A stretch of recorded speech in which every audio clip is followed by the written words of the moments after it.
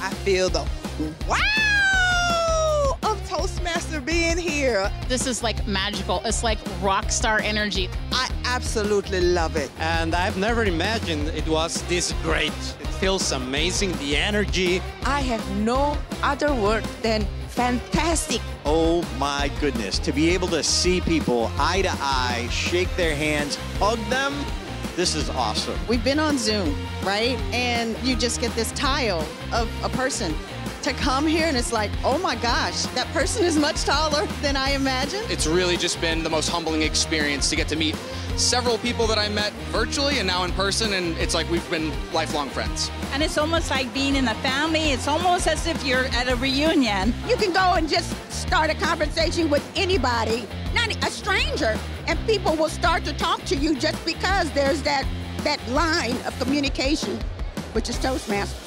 Have you ever wanted to travel around the world? You can do it right here, meeting people from around the world of different backgrounds and different experiences. Just the camaraderie, all of the advice. It's been an amazing experience, and I'm so glad that I had the opportunity to be here.